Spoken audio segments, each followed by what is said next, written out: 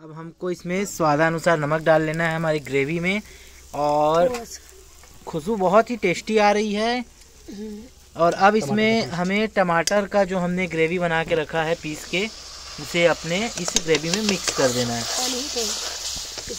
और थोड़ा इसमें आपको मतलब पानी डाल के इसको भी इसमें डाल देना है।